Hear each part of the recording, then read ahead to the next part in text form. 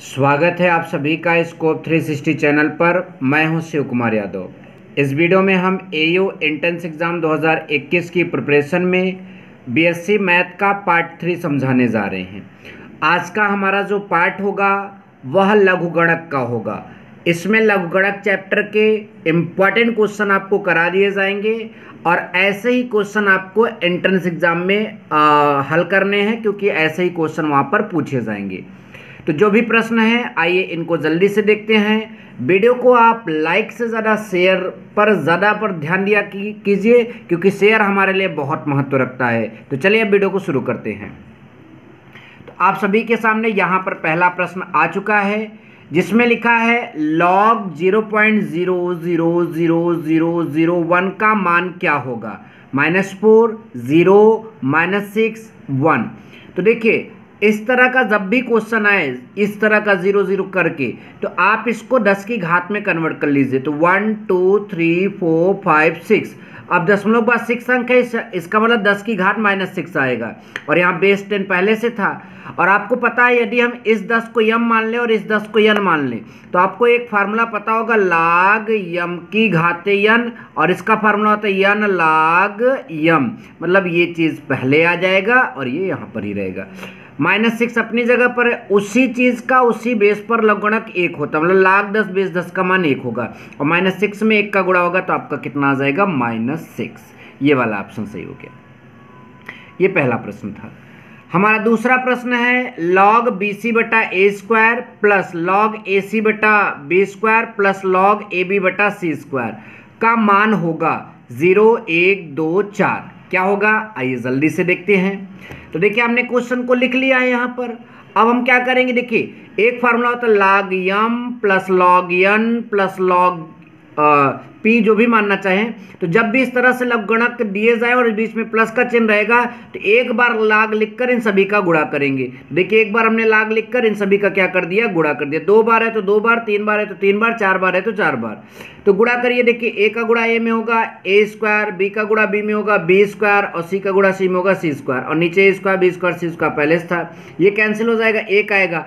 और लाग एक की वैल्यू याद रखिए कितना होता है? ज़ीरो कभी कभी डायरेक्ट लाग एक की ही वैल्यू पूछ लेता है तो लाग एक की वैल्यू ज़ीरो इसलिए इस प्रश्न का आंसर क्या हो जाएगा? ज़ीरो आई होप कि आपको यह प्रश्न भी अच्छे से समझ में आ चुका है।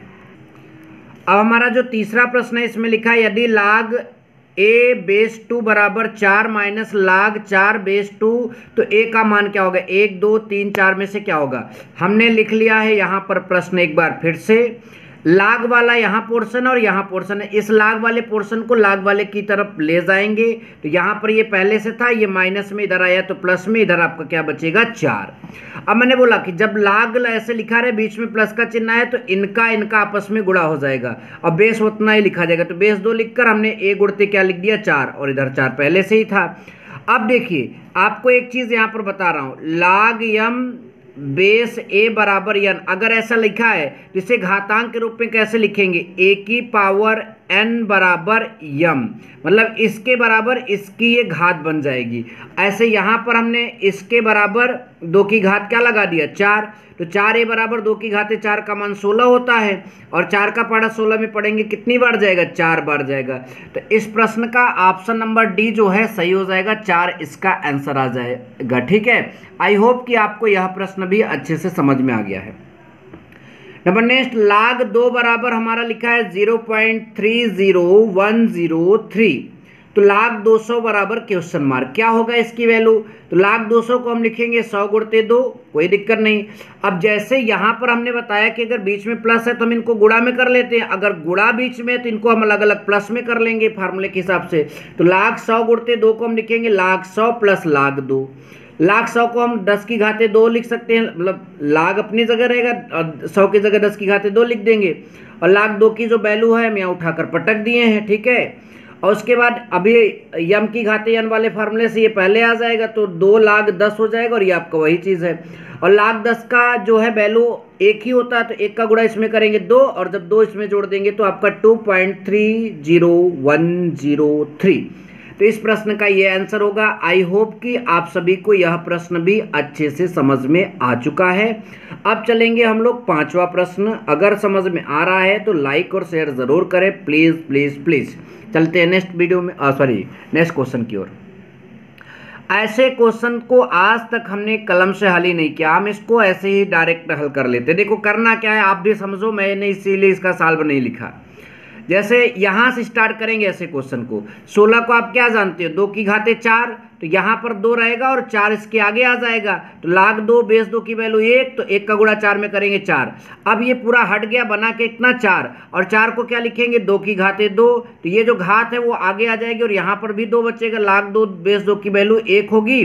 और यहाँ पर दो का गुड़ा एक में होगा तो दो। तो यहाँ दो और यहाँ दो। लाख दो, बेस दो की वैल्यू कितनी होती है? एक। यहाँ पर ऑप्शन नंबर डी में ये आपका एक लिखा है, इसलिए आपका ऑप्शन सही हो जाएगा। आई होप कि आपने इस प्रश्न को भी समझ लिया है।